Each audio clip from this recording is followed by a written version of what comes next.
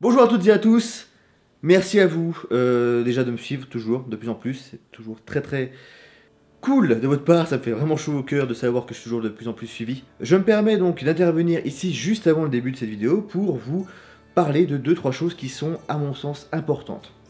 La première, c'est que cette vidéo que vous allez voir a en fait déjà été publiée sur la chaîne de brainculture.tv. C'est une web TV, hein, vous avez un site, etc. Un magnifique site que je vous conseille à aller voir et une chaîne YouTube où je vous conseille également d'aller vous abonner hein, en mars pour aller y voir plusieurs émissions, plusieurs concepts. Euh, c'est une web TV qui a parlé de culture, hein, comme son nom l'indique, de culture au sens large. On parle de tout, c'est-à-dire de musique, avec Nounout par exemple. On parle également de jeux vidéo, on parle également de littérature avec Mad, on parle de psychologie, un petit peu de sociologie, un petit peu de tout et de rien. Enfin bref, c'est vraiment une web culture fort sympathique avec des gens qui méritent, méritent franchement d'être visionnés. Donc faites tout plaisir, allez-y et vous allez retrouver en fait toutes les émissions où vous trouverez le logo H comme histoire. Hein, c'est le format que j'ai créé pour la web TV, donc brainculture.tv. Deuxième chose, je vous annonce que j'arrête la monétisation YouTube. J'avais mis en place cette monétisation il y a déjà un petit bout de temps, hein, euh, et vous, doutez bien que si je l'arrête, c'est que ça ne me satisfait pas. Ça ne me satisfait pas pour plusieurs raisons. La première, c'est que ça impose des pubs sur lesquels je n'ai aucun contrôle, et même vous, vous n'avez aucun contrôle, hein, sauf si vous avez AdBlock. Et euh, les pubs sont franchement, et des moments, elles sont vraiment limite limite, euh, où elles font passer des messages politiques, enfin d'associations politiques, qui sont pas forcément euh, qui soit me concernent pas, soit euh, ne me parlent pas, ou sont contre mes convictions personnelles. Donc euh, ça me gêne un petit peu moi d'avoir des publicités parfois engagées, trop engagées, qui sont autorisées comme ça sur YouTube et qui nous envoient, que YouTube nous envoie à la gueule comme ça sans crier gare. Et non, je ne dirais pas quelle publicité c'est parce que j'y parce que voilà, c'est pas le, le but de faire une polémique aujourd'hui là-dessus. Deuxièmement, aussi parce que cette monétisation en fait, pour moi, a plutôt la l'allure un petit peu d'un foutage de gueule, dans le sens où, euh, comment dirais-je, pour que vous compreniez un petit peu la chose, c'est que, il me semble, fin février, début mars 2021, YouTube, enfin Google, hein, puisque YouTube appartient à Google,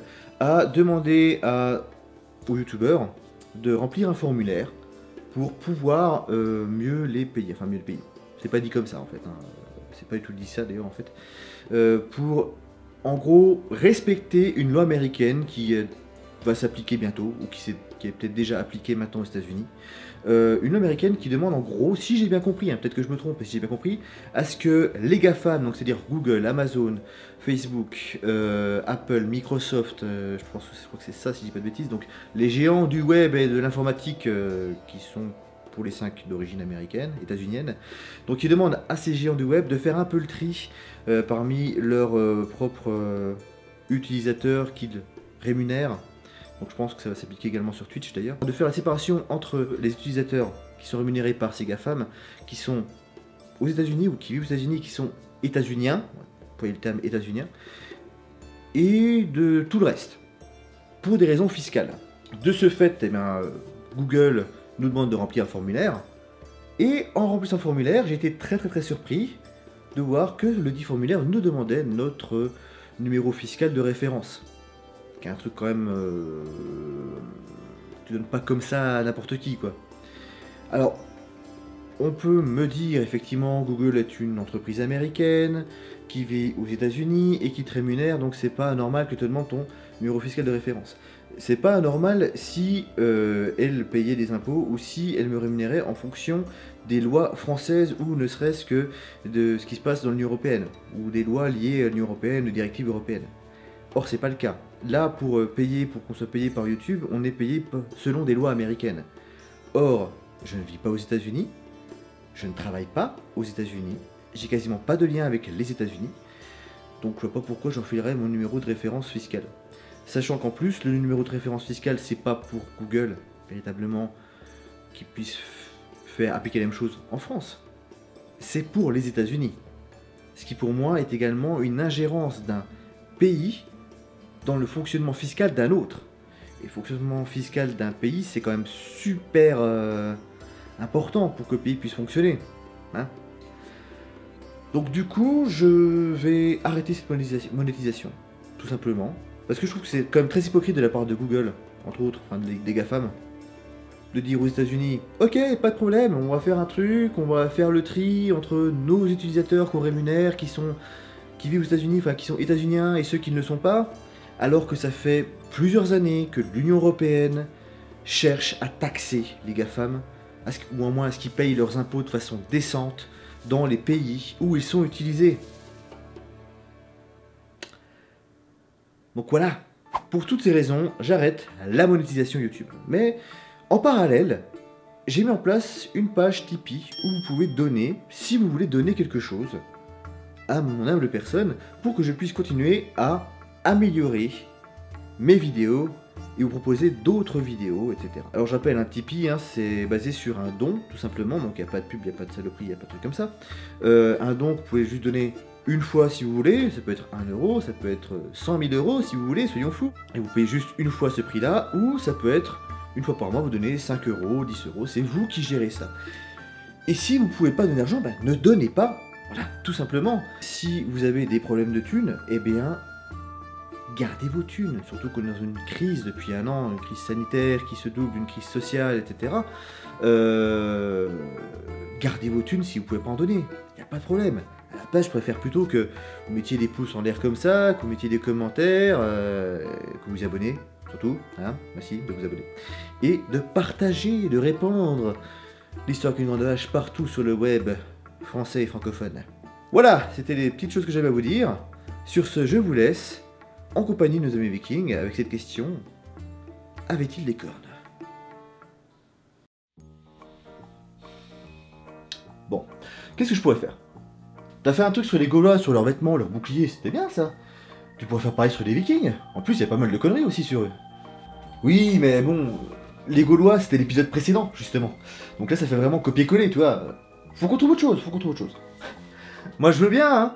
Mais bon, euh, vu ce qui s'est passé dernièrement à Washington, euh, t'as pas vraiment le choix, là. Pourquoi il s'est passé quoi à Washington? Ah Bah, des pro-Trump pour essayer de prendre le Capitole. Quel rapport avec les Vikings, là?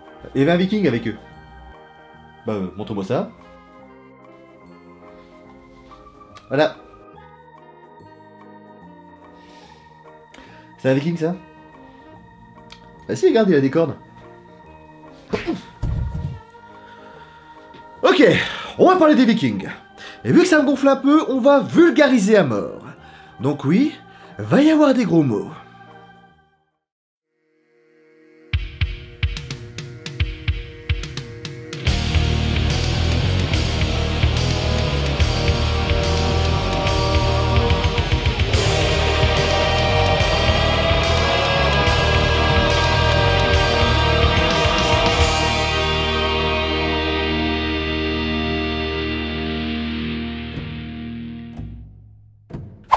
Les vikings avec des cornes.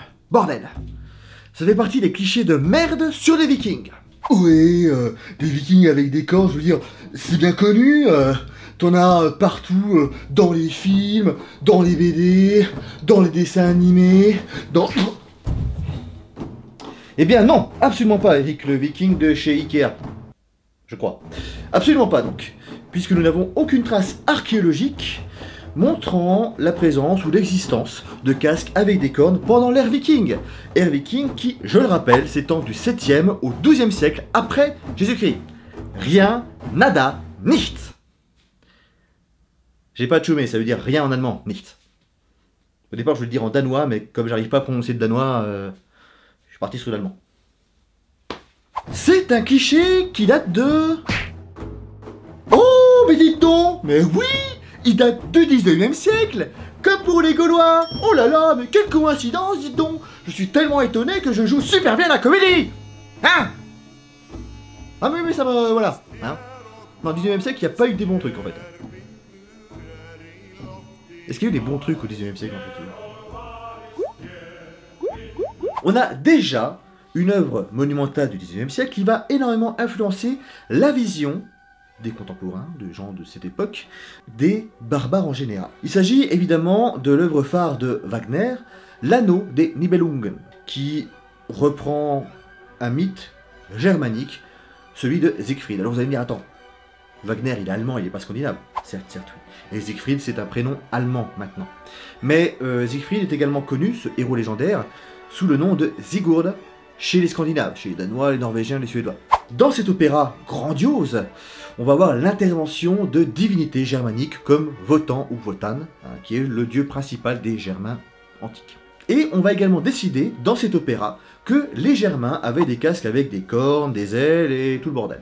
La mythologie germanique est quasiment, pour ne pas dire la même, que la mythologie scandinave. Puisque Wotan, c'est en fait Odin pour les Scandinaves, Donar pour les Germains, c'est Thor, Tivaz, c'est Tyr, etc. Du coup, il faudra pas grand chose pour que on décide que les Vikings, qui adoraient ces mêmes dieux hein, d'ailleurs, bah, allaient porter le même genre de casque avec des cornes et des ailes. Voilà. Et voici une seconde explication, un peu plus scientifique. Selon Régis Boyer, il semblerait que ce cliché vienne d'une mauvaise interprétation de trouvailles archéologiques de casques très anciens retrouvés en Scandinavie, comme par exemple les casques de Vexeux au Danemark, retrouvés en 1942, qui seraient datés d'entre moins 1100 et moins 900, soit au moins 1600 ans avant l'ère viking. Et grosso modo, 1600 ans, hein, c'est un petit peu ce qui nous sépare de la chute de l'Empire romain. Vous savez comme moi, entre la chute de l'Empire et maintenant, il s'est quand même passé pas mal de trucs. Donc relier ce genre de casque à l'ère viking, c'est pas sérieux. De plus, selon certains archéologues comme Andreas Valentin Vatskier, et je m'excuse Andreas si je prononce très mal ton nom de famille, il semblerait que ces casques, de Vexeux notamment, aient été plus utilisés pour des rituels que pour faire la guerre. Et de plus, on n'est même pas certain que ces casques euh, aient été fabriqués au Danemark. Peut-être viendrait-il de la Méditerranée, hein, de l'époque de l'âge du bronze. Alors, que portaient les vikings? Eh bien, je n'ai parlé en partie dans ma mini-série sur l'attaque de Paris par les vikings en 885. À côté de la lance, du bouclier, de l'épée aussi, hein, le viking pouvait porter un grand bison ou un casque en cuir bouilli sur la tête. Ça c'est pour le mec qui a Celui qui a de l'argent, lui aura droit à une côte de maille et un casque en métal. Et comme vous le voyez, le casque en métal n'a pas de cornes. Donc merde, cessez avec ce cliché Et là je m'adresse également aux journalistes qui ont un petit peu trop vite qualifié cette espèce de cliché de chaman amérindien de viking. Jake Angeli, le type là, d'ailleurs c'est même pas son vrai nom je crois. Ce mec là ressemblait plus à une sorte de pseudo-chaman amérindien avec euh, trois peaux de coyote sur la tête et deux cornes de bison. Le mieux c'est que je vous montre deux photos, hein à gauche, la reconstruction d'un équipement viking selon les informations fournies par l'archéologie actuelle. À droite, un type rouge-blanc-bleu avec un mauvais cosplay de Danse avec les loups. Eh mais attends Ok, il a pas un casque de viking. Mais ces tatouages, c'est des symboles vikings, non? C'est pas des symboles nazis non plus? C'est vrai, il a des symboles vikings tatoués sur le torse. C'est vrai. Dont certains symboles ont été plus ou moins repris par des groupes d'extrême droite. Je ne le nie pas. Mais, commençons par le Valknut, que vous voyez ici. Le Valknut aurait été créé par Odin, selon la mythologie germanique nordique scandinave. Vous avez compris que c'était plus ou moins la même chose. Ce symbole serait lié aux héros morts au combat, pour faire très court. Hein. C'est toujours bien plus compliqué quand on parle de symbole. Et la mythologie nordique est elle-même issue, entre autres, des mythes indo-européens, qui, eux, datent très certainement de la très très haute préhistoire, hein. donc créés par des types qui n'avaient absolument aucune idée de ce que signifieraient des siècles, voire des millénaires plus tard, des mots comme euh, nazi, extrême droite ou haine raciale. On a également une sorte d'arbre de vie, je pense que c'est Yggdrasil, mais je trouve qu'il est fait d'une manière très très bizarre, donc pour moi j'ai pas l'impression que ce soit Yggdrasil l'arbre monde, mais peut-être que c'est Yggdrasil ici. Mais en tous les cas, Yggdrasil fait partie de ces arbres mythiques euh, qu'on peut facilement comparer à un arbre de vie, et un arbre de vie c'est quoi? C'est simplement une représentation à la fois du monde, de l'univers, mais également de la vie elle-même, de la renaissance, de l'éternité. En fait c'est un putain de symbole hippie quoi. Pas du tout d'extrémiste sauf si t'es un extrémiste hippie. Et bien sûr, on a le marteau de Thor, Mjolnir, que certains d'entre vous connaissent déjà grâce à Marvel. Et je pense pas qu'on peut accuser Marvel d'être des nazis. Surtout quand on sait que Thor, chez Marvel, est une création du magnifique, génialissime et regretté Jack Kirby, surnommé The King of Comics, au pays de Lady Gaga. Jack Kirby, qui, avec son collègue Stan Lee, aura une influence énormissime sur le comics américain, et donc maintenant indirectement sur notre propre culture. Oui Ah, très bien. On me dit dans mon oreillette totalement virtuelle que Jack Kirby et Stan Lee avaient des origines juives. Alors là, vous êtes en train de vous dire, mais quel rapport avec tout ce que tu viens de dire? Tout simplement, je trouve ça quand même génial de voir qu'une personne comme Jack Kirby s'est intéressée au fond de la mythologie scandinave, par pure passion, ça prouve deux choses à mon sens. Premièrement, que n'importe qui peut s'intéresser à n'importe quelle mythologie sans pour autant passer pour un nazi. Donc euh, merci BFM TV et toutes vos conneries de vous calmer un petit peu quand vous voyez un mec qui porte des symboles vikings. Hein. Et deuxièmement, ça prouve également qu'une mythologie, quelle qu'elle soit, que ce soit la mythologie germanique, que ce soit la mythologie gréco-romaine, la mythologie égyptienne, la mythologie biblique, oui oui j'ai dit mythologie biblique, euh, et je le confirme, que toute mythologie peut être interprétée, réutilisée par n'importe quel être humain car ces mythologies appartiennent à toute l'humanité. Sans déconner. Et pour revenir sur ce sujet de détourner des symboles, des symboles antiques qui n'ont absolument rien à voir avec notre époque, de les transformer pour en faire des signes de haine, d'intolérance et de connerie totale, ça me débecte. C'est comme si un groupe politique extrémiste cherchait à s'approprier une figure historique nationale. Comme par exemple, euh, je sais pas, au hasard, Jeanne d'Arc. Ne laissons pas ces symboles qui appartiennent à l'humanité être détournés par ceux qui veulent nous diviser. Bref, pas de vikings avec des casques à cornes sur la tête, hein. non, non, non, non, non. Et si vraiment un viking avait des cornes, eh bien, c'est certainement pour une autre raison. Eh, dis donc, toi, avec ton casque à cornes, présente-moi ta femme, tu sauras pourquoi t'as des cornes.